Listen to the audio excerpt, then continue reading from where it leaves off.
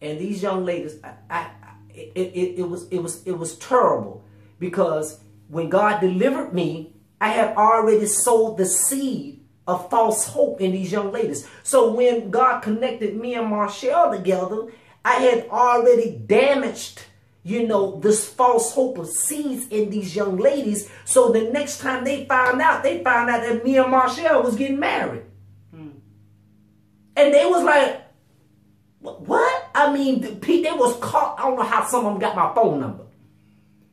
They called my phone number and asking me, is it true you and Marchelle getting married? I'm like, yeah, who is this? Who is this? Well, this is so-and-so. Well, how you got my number?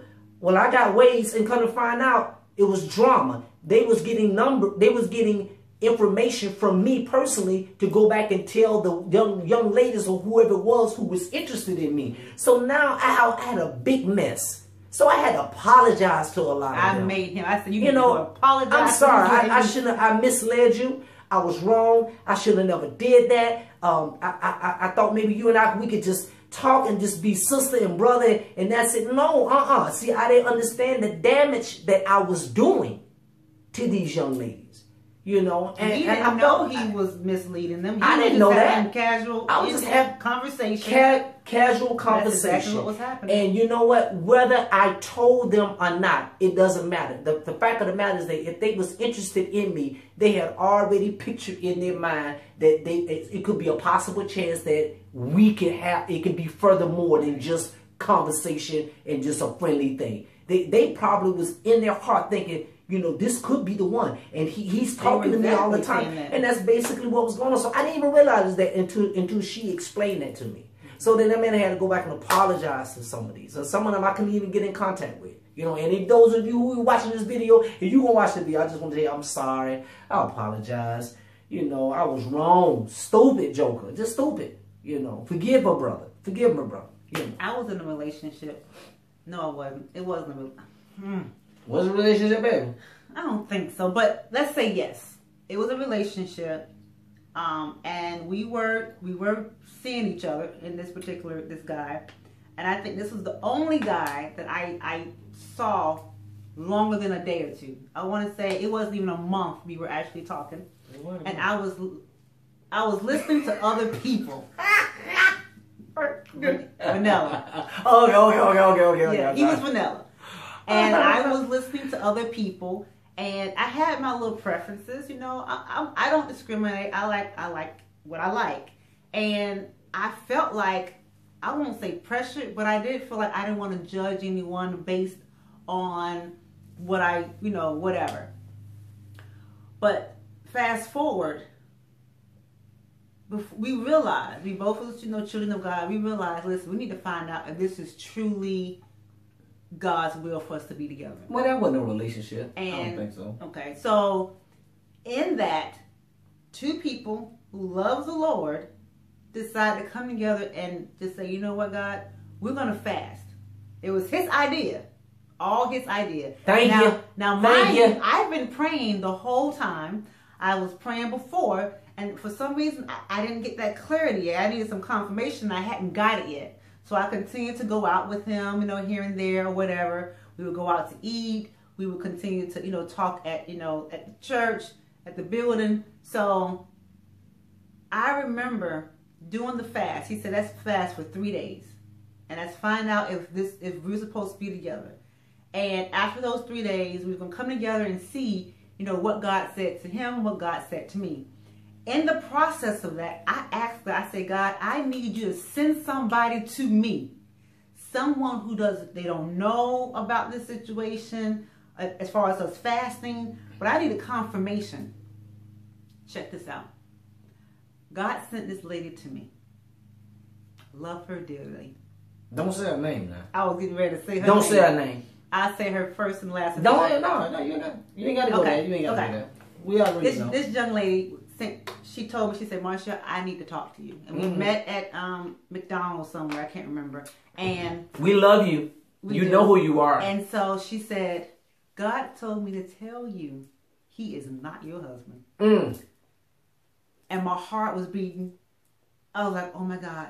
See, when you ask, you have to make a choice. Yeah. God is telling you. Yeah. yeah. This is a young lady she didn't. She was an older young lady, just loved the Lord, wise. I respect her dearly. She said, God showed her that He was, you know, not the one. I won't go into details. He was not the one. He was not my my husband. And if I continue this relationship, I will get hurt. That's exactly mm. what she told me. That's all the confirmation I needed. After those three days, I could. I mean, prior to those three days, I kept praying thanking God, had peace in my heart. Okay, I know God has told him too. See, he's a child of God too. God has told him too. I'm not his wife. so this is gonna be awesome. so after I, after I three day fast, he calls me early in the morning. I mean, five, six o'clock in the morning. Well, he wait. You, uh, that's a man. That's a man, boy. He want this bad. He want this bad. You ain't gonna tell him. Uh uh You ain't gonna tell him nothing different. So that's he, a man now. He, he calls me. Stupid man. We and we, we decided stupid, to talk and he was like, okay, well, what did God tell you? And I said, well, what did God tell you? And I, and I told him prior to the three day fast, I mm. say, may the best God win. Mm, may the best God win. Because everybody, God is different. Everybody, relationship with God was different. awesome. May the best so God I said, win. May the best God win. Not yourself. So he was like, what do you mean by that? I said, just understand, may the best God win. Because she knew who her God was. but do you know who your God is? Because your God can be yourself. So we were talking, and Come he was on, like, okay, I'm, I'm calling it, you know, you know. He was excited, you guys. I was like, okay, maybe he excited you because he know God has spoken to him. No, that joker wanted you. So that joker wanted you. Watch what say, I'm about to kiss you. You gotta get up there. You gotta cut that out now. Get close to me like that if you want to. We on this camera. Huh? So proceeded to ask me what did God say, and I proceeded to say, well, what did God tell you? He said, no, no, no, ladies first. So I told him, I said, okay, well, God told me you were not my husband, mm. and that we need to, you know, let this go. He wanted and to see that, that. I, and that I was in the way of your wife. If we continue this, it, it's oh, not no. gonna, it's not, it's gonna end up really bad. So it was silent on the phone. He want to hear that, y'all. And I said, I said hello, and he didn't say anything. Oh, and I said, and I called his name. I almost called his name. I called his name. I said, "Are you there?" He was like, "Yeah, I'm here." The tone had changed. Yeah. The attitude yeah. was cold. Yeah. He was like, "Well, that's not what God told me." Mm. And I said, Well, what did God tell you? God told me you were my wife. Are you sure you got this right? I said, No, no, no, no. I'm positive. I am 100% positive. This guy took all my pictures, mm. gave them all back to me. Mm. He was mad now. Everything he, he had, mad. Everything he gave me, yeah. he wanted it back. Yeah, he mad. So this is this is more confirmation because yeah even if as a child of God, that's right. There's a way you should still respond that's to me right. as your sister like, in Christ. You know what, sis? You so this is another confirmation. There you go. I respect your wishes. This, okay, I respect right what God now, has done right. with you about. Even if I hey. just say if I was wrong, let's yeah. say I was wrong, right? And he right. was right. You know what? I'm gonna let God continue to deal with you. Yeah. I'm gonna exactly. back away. That's right. I'm gonna continue to pray, and whenever God is ready for us to That's right. That's if, right. If, if if he's if it's out if it's his will, we'll come back. That's right. There's a whole. He would have the confidence. He would. Yeah, he the, would have the, the response confidence. would have been totally yeah. different. Uh-huh. Oh, he was upset. Yeah. He was mad. You yeah. understand me? He was mad. That means that, that that means that his whole agenda and his his way of doing it his way and him choosing what he wanted to do and choose who he wanted. She knocked God knocked them plans right and let me tell you, it wasn't even it wasn't even a year. Come on now. Maybe what six happened? months. What happened? What happened? He was getting married to somebody he was getting. Married to somebody else. See that? See, see, you see what I'm saying? That's why women, let me tell you something, a child of God has power. A, a, especially a, listen, now, listen, now don't take this the wrong way. Be careful. Don't take this the wrong way. Brothers and, and ladies, don't take this the wrong way. Say women, go ahead and say it. women have a special, a special intuition power to respond to God quicker than a man. I'm being honest.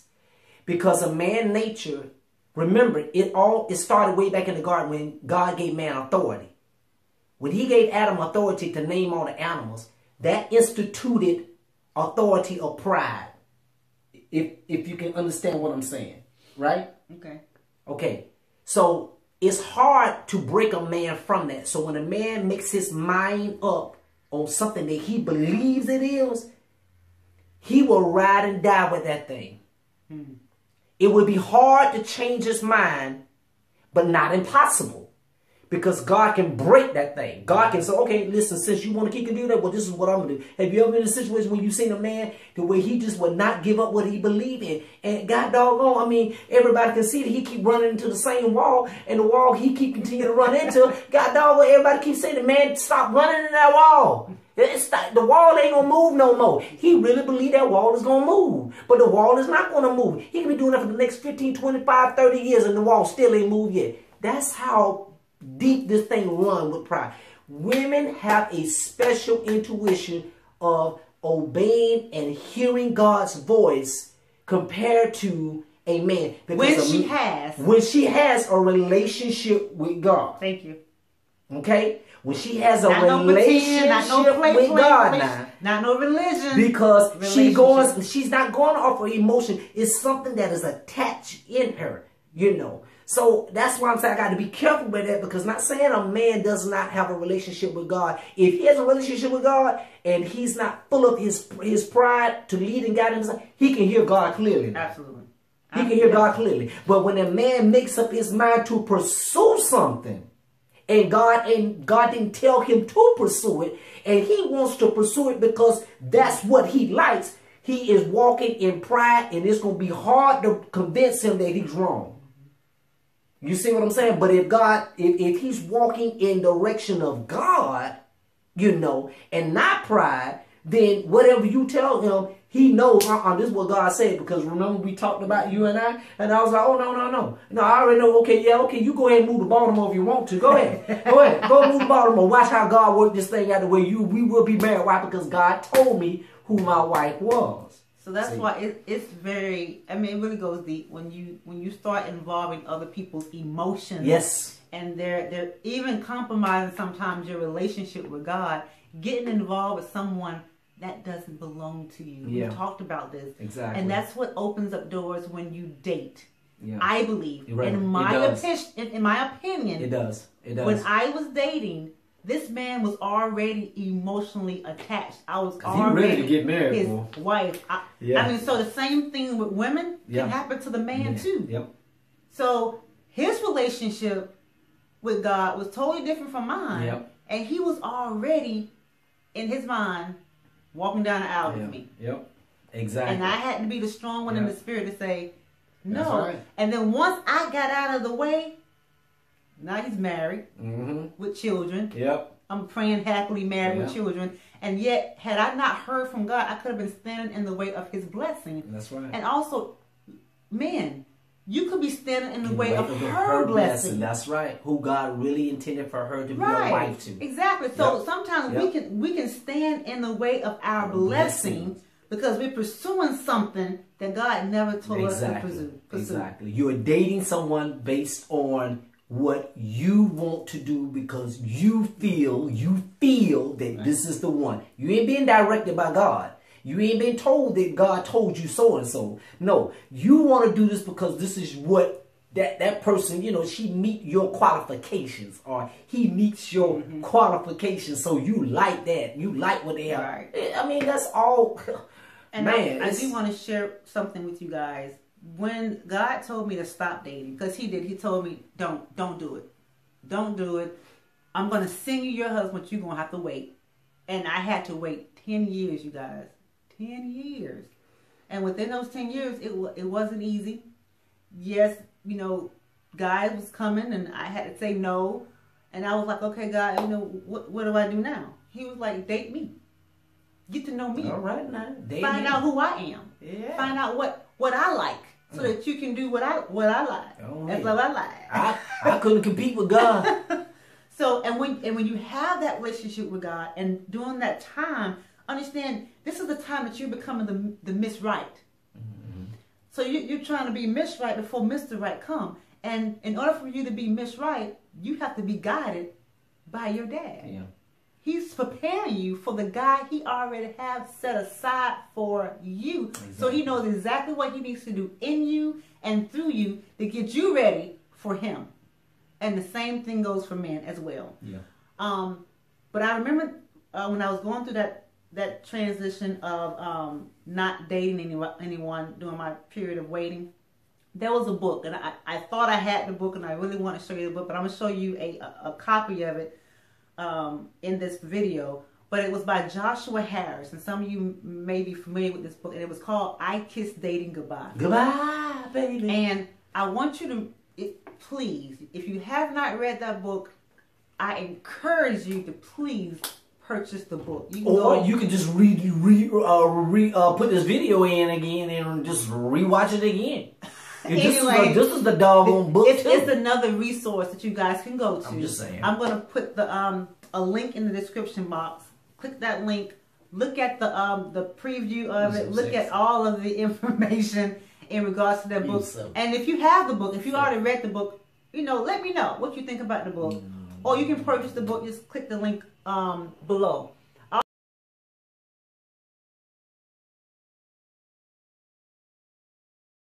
Also, I have some more books. I'm throwing you off. Um, What's going No, you're not. And this is by Myles Munroe called Waiting and Dating. And this one here is called Boundaries of Dating. And I will also put the links in the description box. Don't date. Um, but I want you to Don't kind date. of see the the the ideal of other people's perspective perspective and yeah. their theology and right. their thoughts about dating. Right. And th- these are these are, you know, books that are written by children of God, um, different ministries. So it's supposed to they're all supposed to be biblically principle based. But I really want you to kind of see because I've read them, and I took the approach of Joshua Harris.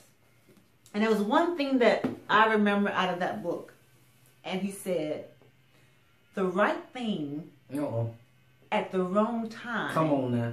Is the wrong thing. Ooh. And that entire Ooh. book, if I don't remember anything in that book, I, I remember no that. I ain't got no money. He said the right thing mm. at the wrong, wrong time, time is, is the, wrong, wrong thing. thing. And that's what we have to understand. That if it's not your time to get married, right. then why are we dating? That's if it's right. not your time that's for right. God to send your mate, why, why are, we you dating? dating? That's right. What's the purpose? If that person is not going to be a part of your future, why are you dating? Why are you getting entangled? Why are you getting connected? For what? It's a waste of time. So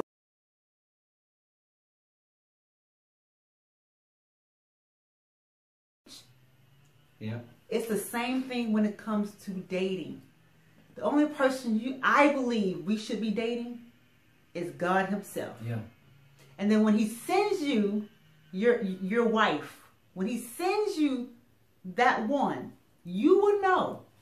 And then once he connects you, then you guys are preparing for marriage. Yeah, you're courting it's like, now. It's like it's clockwork. Courtship. Yeah, it's not courtship. a. And this is us. I don't believe in long relationships. If God told you that's your your wife, that's your husband, what you waiting? What we waiting for? Yeah because we didn't date. What happened with us is that God connected us together. He dealt with her, her heart to receive me. And then as time went on, you know, because she said she prayed that God would basically kill that feeling in her because she didn't want to be the one to go pursue because she felt truly strongly that a woman should not be pursuing the man, you know, which in regards is, is, is true. But at the same time, you got to understand this. While he was dealing with her, he was dealing with me. So when he brought everything together and put it in that bowl, we already knew. We already was confirming, and he was already dealing with both of us, and he already lined it up for us to talk on the phone for the first time. After the hookup. After the hookup, for us, really in the process, yeah, because we didn't really, when we talked on the phone, the first time is when I got her phone number and I asked the individual who he know who he is because I needed to get in touch with her because my main objective is that I want to ask the question. And for those what who haven't seen that, if you haven't seen that video, please check that video out. It's a whole other. Has video. God ever dealt with you about so, me? So, so even with that being said, after all the confirmation was made, that's when we were she was ready to receive me. She was ready to accept. Then we start courting. We didn't date. We didn't have to try to figure out whether or not we're really supposed to be together or not. Because we already had confirmation from Because we already had confirmation. That's what's that's what you call order. That's what you call God's order. Mm-hmm. You know, because God ain't gonna put you together, right? And then wait for y'all to get all mixed all up and messed all up, and, and God ain't put y'all together. And then after that, He said, okay, yeah, y'all supposed to be together, but y'all don't toy each other without any confirmation first. You understand what I'm saying? God doesn't do that. He do everything in order first. He deals with you first. Deal with that individual first. Bring them together. When he brings them together, bam, they confirm it, they receive it, they accept it, they know it's God, and bam, now they court. And once they court, they are they are courting to get ready to get themselves ready for marriage with each other. Not based on trying to learn, uh, uh, as far as trying to see if this is God or not. No, you're gonna know that way before you even get there. That's order. You but know, but that's even, not even with that, playing with continue to pray. Because sometimes we can be off. Sometimes you can Yeah. miss God. Sometimes you can think it's God. And that's, That's why, why it was very important that I continue to pray. Right. And to continue to give me confirmation. Confirmation. God knows I he God knew I needed confirmation all the way to the altar. Yeah. That's Yeah. just how I was Yeah. making sure if this is really my husband that I And you know what? God God, yeah, you know. So I continue to pray. So I'm not saying once God give okay, Right. you stop and you no no no. You continue to involve God should be first. Continue you should continue to talk to God, asking God, asking Right. God for guidance, asking God for What you say, baby? Don't don't don't don't go off that one confirmation. Keep going. better- Keep, what if God would have said, nah, that's that's not him. Uh uh You missed the mark. You everything God does, He does in order. Right. When He does, He doesn't fail when He connect people together, and when He connects them together, He doesn't He doesn't say, okay, I'm playing. See, God don't play games with us. Right. So when He connects you together, His purpose and sole reason to connecting you together is for holy matrimony in front of Him, because He connected you together. He is not going to allow both of you to not uh, get together and then both of you are doing it on your own ability and for him to come in and say, okay, guess what? Now I'm here now. Here I go. Now I'm going to make this happen when he never really connected you together anyway. So everything God does, he does in order. He does it in order. That's just the way he is. And he will always send confirmation. Yeah, He yeah, will yeah, always yeah. send Yeah. confirmation Yeah, through people, through issues. It was so to- many people that was happy for us. So you have to be very, very prayerful. Stay in prayer. Yep. And understand when God sends him, you will know it. Yeah. But continue to pray. Continue to keep God first. Continue God to will let her, him to, to lead. Yeah. To lead and guide you Yeah. Through everything. Through Yeah. the courtship, through the preparation for your wedding, through everything. The people that will be involved. So that's what it is that God was trying to tell you. You don't have to go and date here, date there, date Right. everywhere. God is going to send. That's And right. you have to be in position to receive. Because if you're not in position, if everybody's in the way, he's not gonna right. don't don't expect him to. Right. He wants you by yourself. By yourself, Right. trusting him only, now Right. you're giving him room Right. to come. That's right. So that's what that's our perspective, that's our opinion. That's our and experience. that's our experience. Our, okay? our So- experience. yeah. So we love you guys. Again, thank you guys for the comments. Thank you for the encouraging words that you guys are giving us. Um, this is not easy for us, so we have to make sure that we go before God so we would know what to say. we have to pray before we, you know, approach you guys with what we're going to say. And as some of you probably know, it's, this is not script. We don't have anything written down. We don't have anything behind the cameras trying to figure out what we're going to say next. No. This is totally testimonial. Yeah. You can't lie with testimonial. Sure can. So There's something about that So- experience, man. You cannot lie with you, it. you can't go in certain orders. We just allow God to use us, Yes. to flow through us, and to share what He has done in and through us in our relationship. Yeah. Okay? So we do love you guys. We will continue to pray for you guys. Do not forget to like, share, and subscribe. And until next time, be you And keep it moving. and keep it moving. Love you. Bye. Bye. Peace.